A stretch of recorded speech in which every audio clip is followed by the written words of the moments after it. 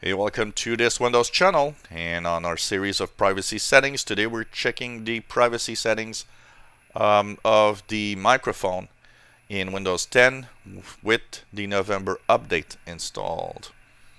So go into the privacy and the privacy and the notifications on the bottom right into the all settings into privacy and there on the left side you'll have microphone.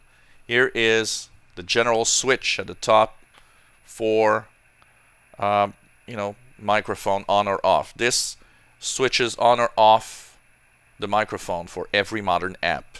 Now, very very important. I did say modern apps like the webcam. This switch is a switch that works only.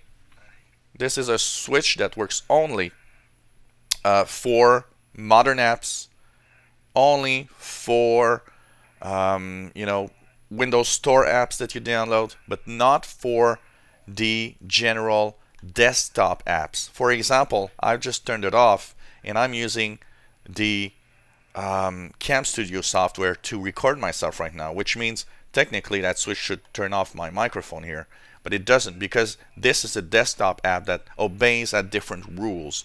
So it's very important to understand that um, this general switch is not for desktop apps.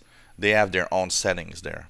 So it means that even that off, there could be a program uh, installed that still uses your microphone.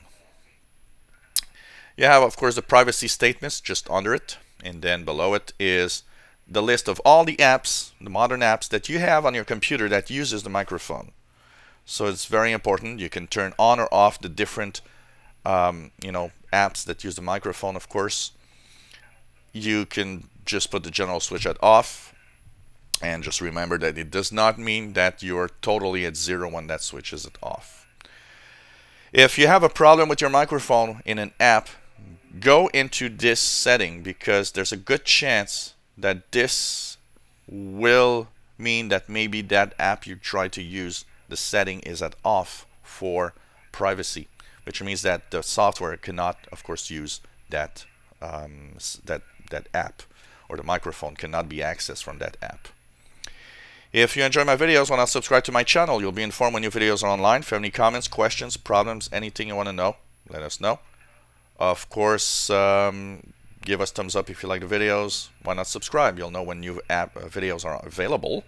And thank you so much for following us on this channel.